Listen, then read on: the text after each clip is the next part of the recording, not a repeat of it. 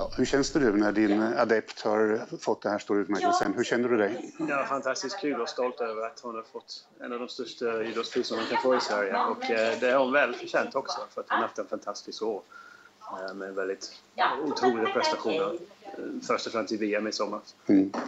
Och eh, tror du att det här firandet och det här ståhejet att det kan påverka koncentrationen inför veckans tävlingar? Nej, inte alls. Det är bara positivt. Det är bara positivt. På, på vilket sätt är det positivt? Med goda nyheter är alltid positiva. Det, är, det är ingen problem, jag ser ingen koppling till det. Det är bara en bra grej, en rolig dag.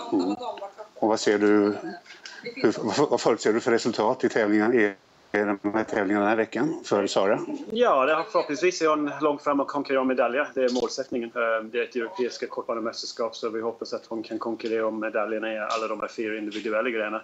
Hon simmar och, och eh, eventuell lagkapp också. Det är målsättningen. Så det kan bli många guld.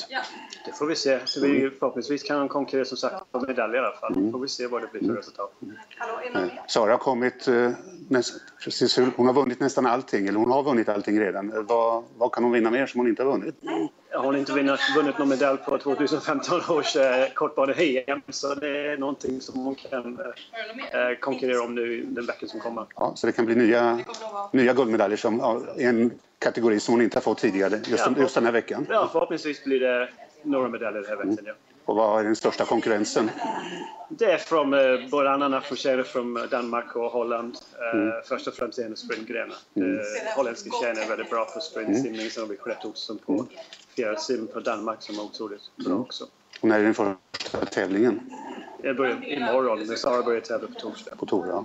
Så vad ska ni göra idag? Träna eller vad ska ni göra? Nej, hon har redan tränat nu en gång idag så nu blir det bara efter den här stunden kommer det bli bara lugnt och skönt här i Israel och sen eh, middag, sen eh, säng och sen går vi och gör träningen imorgon. Mm. Så vad gör man avslutningsvis när man kopplar av en sån här dag, när träningen är klar och, och bragdmedaljen är bärgad, vad gör man då? Ja, det är nog lite film kanske, lite snack med kompisar, kanske vi drar iväg och fikar någonstans, tar, dricker en god kaffe någonstans och eh, ta det lugnt, ha det bra.